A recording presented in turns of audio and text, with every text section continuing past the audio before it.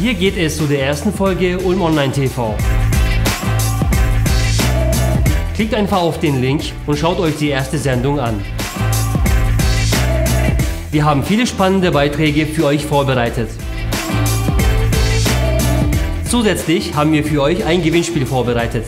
Alle Infos findet ihr in der Beschreibung.